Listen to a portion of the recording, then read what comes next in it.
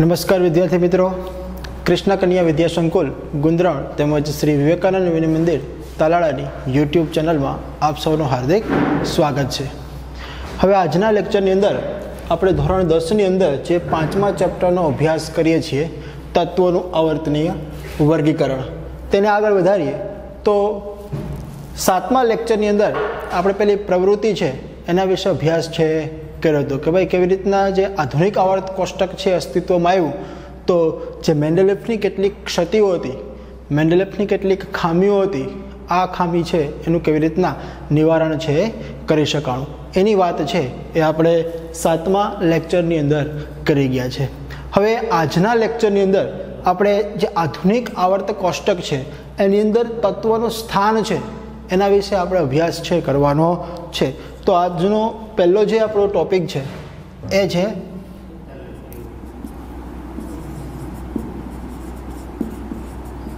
આધુનિક આવર્ત કોષ્ટકમાં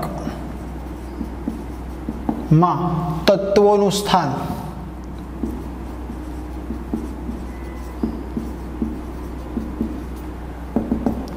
તો જો આપણે બધાને ખ્યાલ છે કે આની પહેલાં પણ આપણે વાત કરી હતી કે જે આધુનિક આવર્ત કોષ્ટકની અંદર જે તત્વો છે ને ગોઠવવામાં આવ્યા, તત્વોનું વર્ગીકરણ કરવામાં આવ્યું, એ કોને આધારે?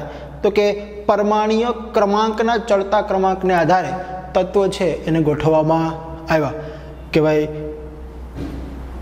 ક્રમશઃ તત્વ છે એમાં પરમાણી ક્રમાંકની અંદર એક એકનો શું થતો હતો? વધારો છે થતો હતો. અને એને આધારે આપણે આધુનિક આવર્ત નિયમ છે, એની પણ વાત છે કરી હતી. તો આપણને બધાને ખબર છે કે આધુનિક આવર્ત કોષ્ટકની અંદર તત્વો છે પરમાણિક ક્રમાંકને આધારે ગોઠવવામાં આવ્યા છે અને પરમાણિક ક્રમાંક છે, કોને આધારે નક્કી કરવામાં આવે?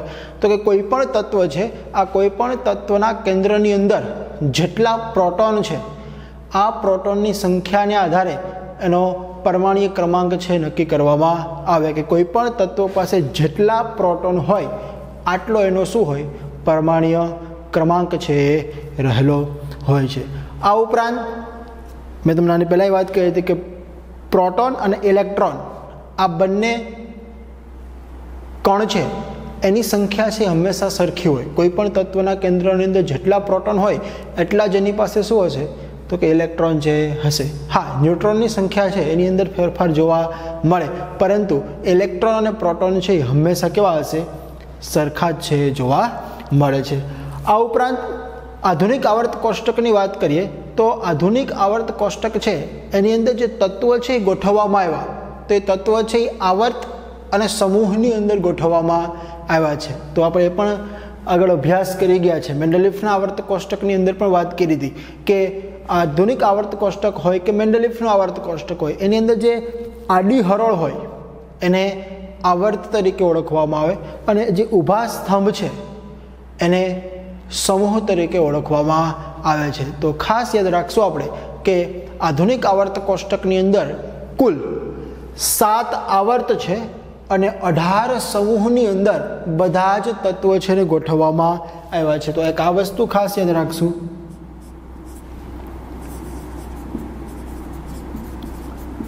આધુનિક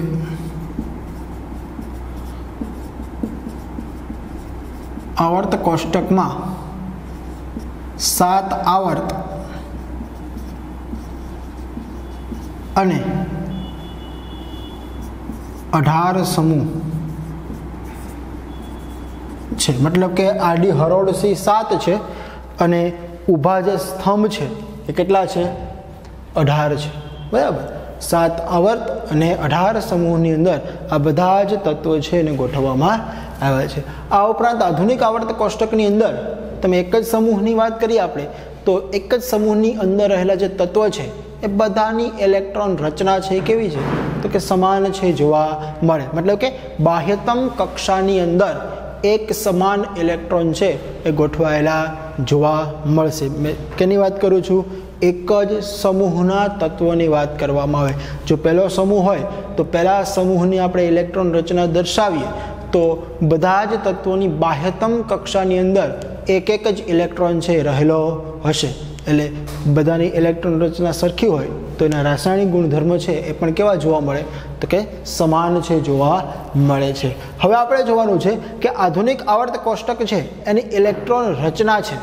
એની આપણે વાત છે કરવાના છીએ. તો યાદ રાખજો કે તમે નવમા ધોરણની અંદર પણ ભણી ગયા છો કે કોઈ પણ તત્વને તમે ઇલેક્ટ્રોન રચના દર્શાવો, એટલે કે અલગ અલગ કક્ષાની અંદર કેવી રીતના ઇલેક્ટ્રોન છે એ ગોઠવાયેલા હોય. કારણ કે એક વસ્તુ તો આપણને ખબર જ છે કે કોઈ પણ તત્વની અંદર પ્રોટોન અને ન્યુટ્રોન છે એ હંમેશા એના કેન્દ્રમાં હોય અને કેન્દ્રની ફરતે ઇલેક્ટ્રોન છે શું કરતો હોય?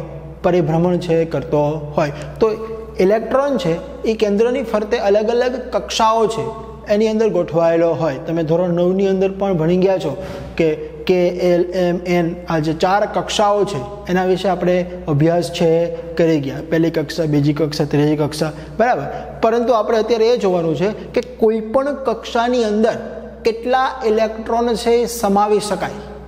તો યાદ રાખજો કે કોઈ પણ કક્ષાની અંદર મહત્તમ કેટલા ઇલેક્ટ્રોન છે ગોઠવી શકાય એ આપણને ખબર ન હોય તો એના માટેનું એક સૂત્ર તમને કહું છું. એ સૂત્રની મદદથી તમે જાણી શકો કે કોઈ પણ કક્ષાની અંદર તમે મહત્તમ વધારેમાં વધારે કેટલા ઇલેક્ટ્રોન ગોઠવી શકો તો એના માટેનું સૂત્ર છે.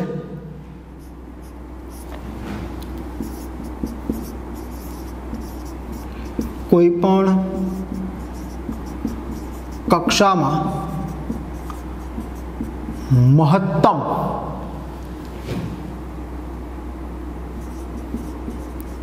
કેટલા? ઇલેક્ટ્રોન ગોઠવી શકાય. તેના માટેનું સૂત્ર છે ટુ એન સ્ક્વેર. યાદ રાખજો. કયું સૂત્ર છે? Two N square. જ્યાં એન શું છે? એન છે એ કક્ષા છે. પહેલી કક્ષા હોય તો એની જગ્યાએ એક મૂકવાનો, બીજી કક્ષા હોય તો એની જગ્યાએ બે મૂકવાના, ત્રીજી કક્ષા હોય તો એની જગ્યાએ ત્રણ. દાખલા તરીકે એનું ઉદાહરણ જોઈએ કે ભાઈ પ્રથમ કક્ષાની અંદર કક્ષામાં પણ ખબર નથી કે કેટલા ઇલેક્ટ્રોન છે સમાઈ શકે. તો પ્રથમ કક્ષા એટલે કક્ષા એટલે કે એન. તો એન બરાબર કેટલા મૂકવાના? એક. તો એનું સૂત્ર શું ટુ એન સ્ક્વેર એનની જગ્યાએ કેટલા મૂકી દઈશું? એક. એટલે બે કાઉન્સમાં એકનો વર્ગ. તો એકનો વર્ગ આપણને ખબર જ છે. એકનો વર્ગ શું થાય? એક જ થાય અને બે ગુણ્યા એક એટલે બે કુ બે. તો પહેલી કક્ષામાં મહત્તમ તમે કેટલા ઇલેક્ટ્રોન મૂકી શકો? તો કે બે ઇલેક્ટ્રોન મૂકી શકો. જ્યાં એન બરાબર બે લઈએ તો? એટલે કે બીજી કક્ષા. તો અહીંયા પણ સૂત્ર મૂકશું ટુ એનનો સ્ક્વેર જ્યાં એન બરાબર કેટલા મૂકશું? બે. તો બેનો વર્ગ. તો બેનો વર્ગ ચાર. તો ચાર દૂને આઠ. તો બીજી કક્ષામાં મહત્તમ કેટલા ઇલેક્ટ્રોન મૂકી શકો? તો કે આઠ ઇલેક્ટ્રોન મૂકી શકો. એમ ત્રીજી કક્ષા, ચોથી કક્ષા. ટૂંકમાં એન એટલે કક્ષાનો ક્રમાંક. બરાબર? પહેલી કક્ષામાં કેટલા ઇલેક્ટ્રોન સમાઈ શકે તો એનની જગ્યાએ એક મૂક દેવાનો, બીજી કક્ષામાં કેટલા ઇલેક્ટ્રોન સમાઈ શકે તો એની જગ્યાએ બે મૂક દેવાનો, ત્રીજી કક્ષામાં કેટલા ઇલેક્ટ્રોન સમાઈ શકે તો એની જગ્યાએ ત્રણ મૂક દેવાનો, તો ત્રણનો વર્ગ શું થશે? નવ નવ દૂને અઢાર, તો ત્રીજી કક્ષામાં અઢાર. બરાબર? તો ખાસ યાદ રાખશું આપણે કે કોઈ પણ કક્ષાની અંદર મહત્તમ કેટલા ઇલેક્ટ્રોન છે એ મૂકી શકાય, ગોઠવી શકાય. તો એના માટેનું સૂત્ર છે ટુ એનનો સ્ક્વેર ખાસ વસ્તુ યાદ રાખજો. બરાબર? ટુ એનનો સ્ક્વેર, આટલા ઇલેક્ટ્રોન છે ગોઠવી શકાય છે. બરાબર? આ ઉપરાંત હવે આપણે એ વાત કરીએ કે આધુનિક આવર્ત કોષ્ટકની અંદર જે તત્વો છે એ ગોઠવવામાં આવ્યા. તો આ બધા જ તત્વો છે એ સાત આવર્તની અંદર અને અઢાર સમૂહની અંદર આ બધા જ તત્વો છે ગોઠવવામાં આવ્યા. તો કઈ આવર્તની અંદર કેટલા તત્વો છે એ ગોઠવવામાં આવ્યા છે? કે ભાઈ પહેલી આવર્ત છે, તો પહેલી આવર્તની અંદર કેટલા તત્વો છે ગોઠવેલા છે? બીજી આવર્ત છે, તો બીજી આવર્તમાં કેટલા તત્વો છે ગોઠવાયેલા છે? ત્રીજી આવર્તની અંદર કેટલા ઇલેક્ટ કેટલા તત્વો છે ગોઠવાયેલા છે? ચોથી, પાંચમી, છઠ્ઠી, સાતમી, તો એનો પણ આપણે કોષ્ટક છે એ તૈયાર છે કરીએ. તો એની પણ આપણે વાત છે કરીએ છીએ. બરાબર?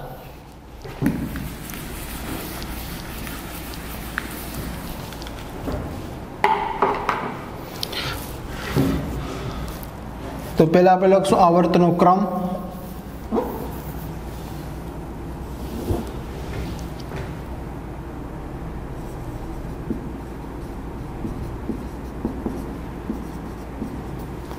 પહેલી, બીજી, ત્રીજી. બરાબર? આ ઉપરાંત બાહ્યતમ કક્ષાનો ક્રમ.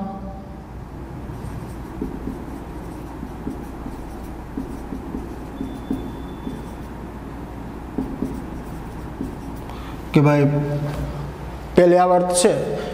તો એની અંદર એટલા તત્વ છે, કેટલી કક્ષાની અંદર ગોઠવી શકાય? પછી કક્ષા કઈ કક્ષામાં ગોઠવવામાં આવે છે? અને તત્વની સંખ્યા. કે ભાઈ, કેટલા તત્વ છે ગોઠવવામાં આવ્યા છે? બરાબર? તો પહેલા આવર્તનો ક્રમ, એટલે કે પહેલો આવર્ત. તો પહેલા આવર્તની અંદર રહેલા તત્વો છે, એના ઇલેક્ટ્રોન છે પહેલી જ કક્ષાની અંદર ગોઠવાયા છે. એટલે પહેલી કક્ષા. અને પહેલી કક્ષા કઈ? તો કે કે કક્ષા.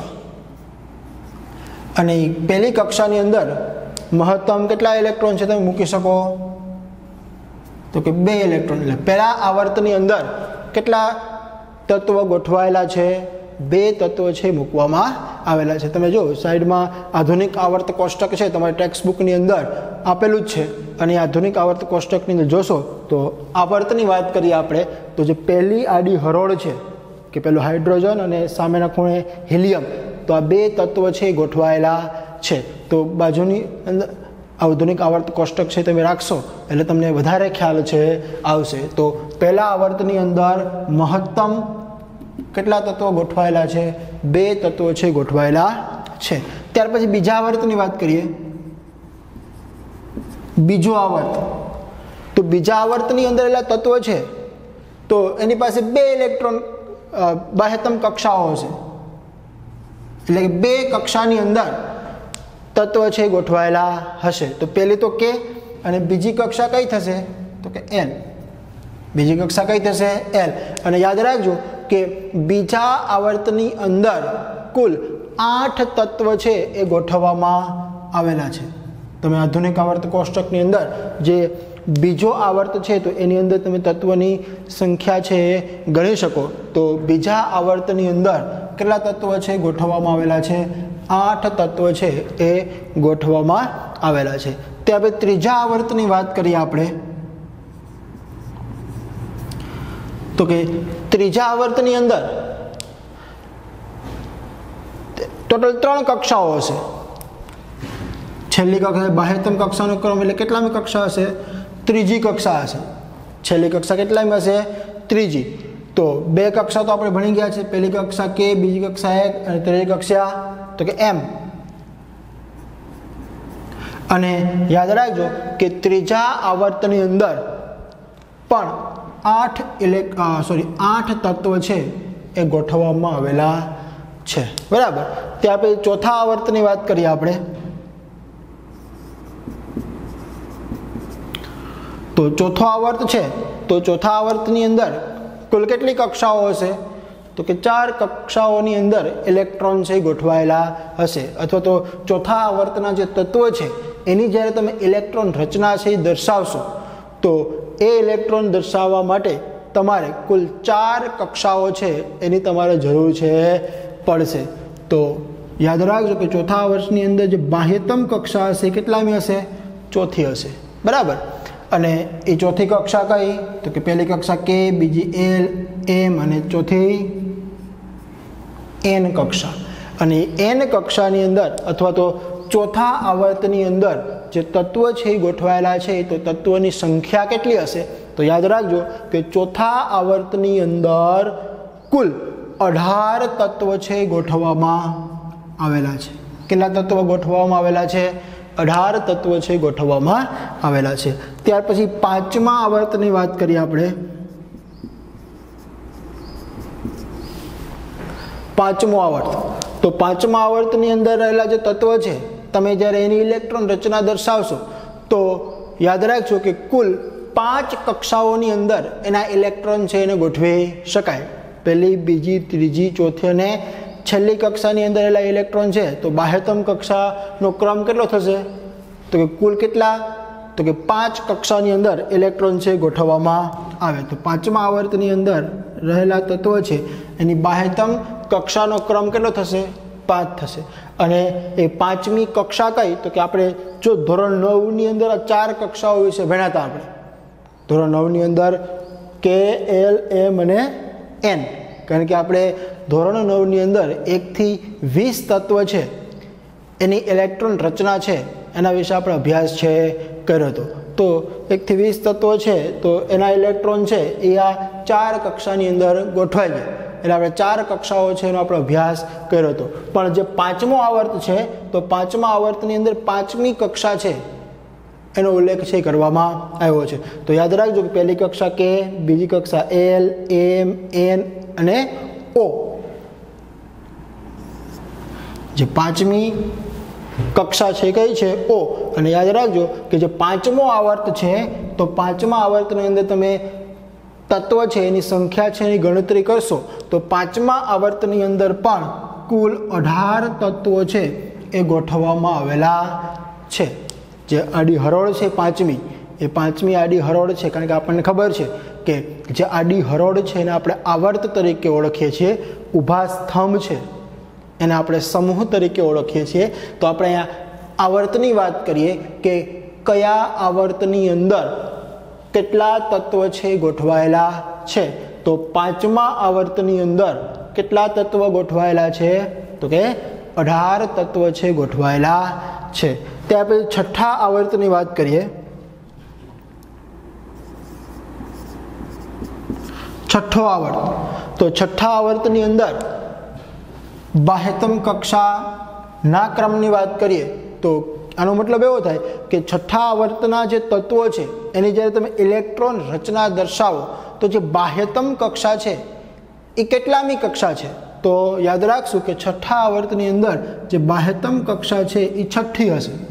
અને છઠ્ઠી કક્ષા કઈ છે? તો કે પી કક્ષા.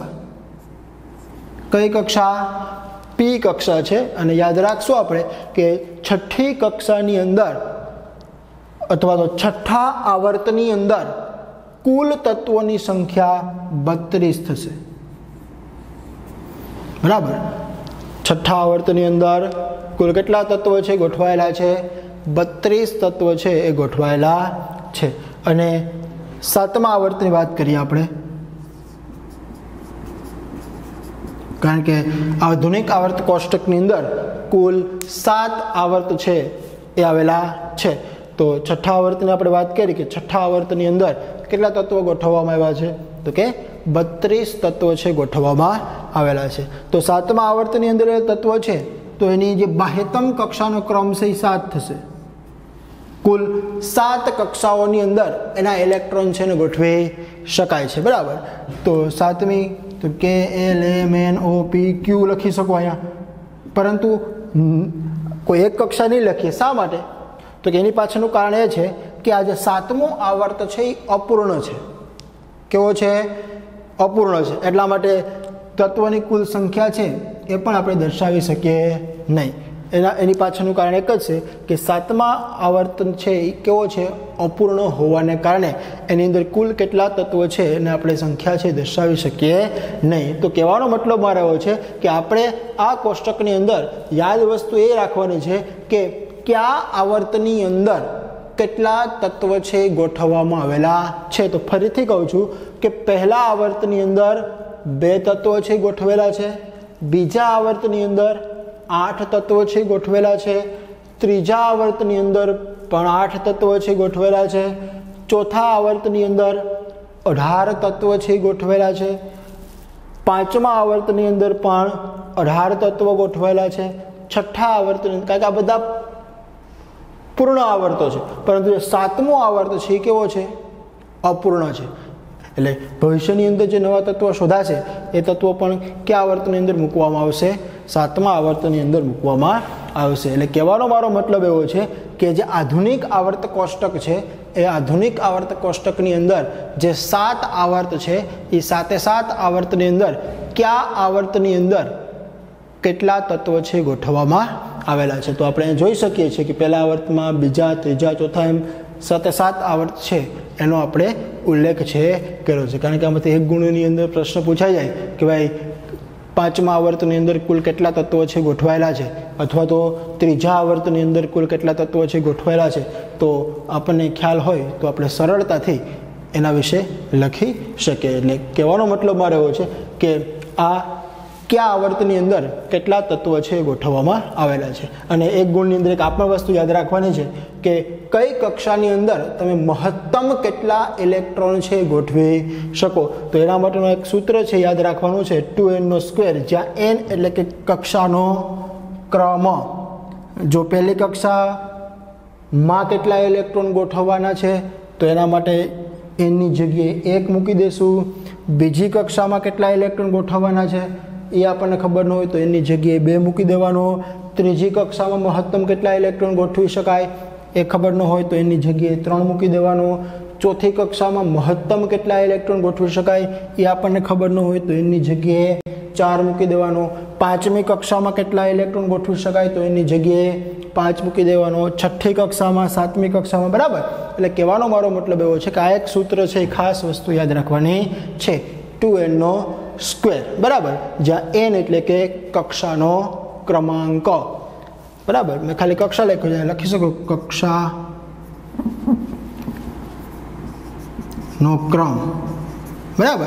તો આજના લેક્ચરની અંદર અહીંયા સુધી રાખીએ. હવે પછીનું જે લેક્ચર આવશે, તો એ લેક્ચરની અંદર આપણે આવર્તની વાત કરી. હવે આપણે, હવે પછીના લેક્ચરની અંદર એક જ સમૂહની અંદર રહેલા જે તત્વો છે, તો એક જ સમૂહના તત્વો છે, એની ઇલેક્ટ્રોન રચના વિશે આપણે અભ્યાસ કરવાનો છે. કે ભાઈ, પહેલા સમૂહની વાત કરીએ, તો પહેલા સમૂહની અંદર એટલે જે તમામે તમામ તત્વો છે, એની ઇલેક્ટ્રોન રચના કેવી છે, તો આપણે જોશું, તો બધાની ઇલેક્ટ્રોન રચના આપણને સરખી જોવા મળશે. સરખી મીન્સ કે બધા તત્વની બાહ્યતમ કક્ષાની અંદર, બાહ્યતમ એટલે કઈ કક્ષા? તો કે છેલ્લી કક્ષા. તો બાહ્યતમ કક્ષાની અંદર બધાની અંદર એક સરખા જ ઇલેક્ટ્રોન છે એ જોવા મળશે. તો પહેલા સમૂહની અંદર તમામે તમામ તત્વ છે એની બધાની બાહ્યતમ કક્ષાની અંદર એક એક ઇલેક્ટ્રોન છે જોવા મળશે. એ પછી હાઇડ્રોજન હોય, લિથિયમ હોય, સોડિયમ હોય, પોટેશિયમ હોય, કોઈ પણ હોય. કારણ કે આપણને ખબર છે કે જે પહેલો સમૂહ છે આલ્કલી ધાતુનો સમૂહ. તો આલ્કલી ધાતુના સમૂહની અંદર રહેલા જે તમામે તમામ તત્વો છે, આ બધા તત્વો છે, એની ઇલેક્ટ્રોન રચના છે. એના વિશે આપણે અભ્યાસ છે, કરવાનો છે. તો એના વિશે આપણે હવે પછીના નેક્સ્ટ લેક્ચરની અંદર વાત છે, કરવાના છીએ. તો આજના લેક્ચરની અંદર અહીંયા સુધી આપણે રાખીશું. તો ફરી વખત ખાસ યાદ રાખશું આપણે કે આધુનિક આવર્ત કોષ્ટકની અંદર યાદ રાખશું કે કેટલા આવર્ત છે, કેટલા સમૂહ છે કઈ કક્ષાની અંદર કેટલા ઇલેક્ટ્રોન ગોઠવી શકાય એ માટેનું સૂત્ર અને કયા આવર્તની અંદર કેટલા તત્વ છે ગોઠવાયેલા છે. એના વિશેની આપણે માહિતી છે મેળવી. Okay thank you